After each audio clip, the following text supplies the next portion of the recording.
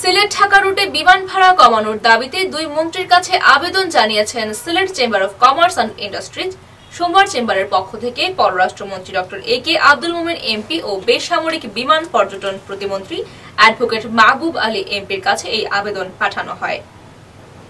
সিলেট চেম্বারের সভাপতি তাহমিন আহমদ স্বাক্ষরিত আবেদনে উল্লেখ করা হয়, ওসমানী বিমানবন্দরে অবতরণকারী বিমানের আন্তর্জাতিক ফ্লাইটে সিলেট ঢাকা রুটের অভ্যন্তরীণ যাত্রী পরিবহন করা হয় না।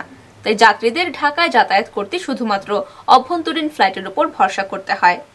কিন্তু অভ্যন্তরীণ ফ্লাইটের ভাড়ার জন্য যাত্রীদেরকে আট হাজার থেকে দশ হাজার টাকা পর্যন্ত গুনতে হয়। কিন্তু দেশের অন্যান্য বিমানবন্দর থেকে ঢাকায় যাতায়াত করতে এর অর্ধেক ভাড়া পরিশোধ করতে হয়। ফলে ভাড়ার ক্ষেত্রে সিলেটের যাত্রীরা বৈষম্যের শিকার হচ্ছেন। ভাড়া বেশি হওয়ায় সিলেটের ব্যবসা বাণিজ্যে নেতিবাচক প্রভাব পড়ছে।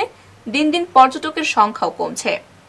আবেদনে আরও উল্লেখ করা হয়, ওসমানী বিমানবন্দরে অবতরণ করা আন্তর্জাতিক ফ্লাইট ঢাকায় যাওয়ার সময় অভ্যন্তরীণ রুটের যাত্রী পরিবহন ও ভাড়া কমানো হলে সিলেটের ব্যবসা বাণিজ্য ও পর্যটন খাত উপকৃত হবে।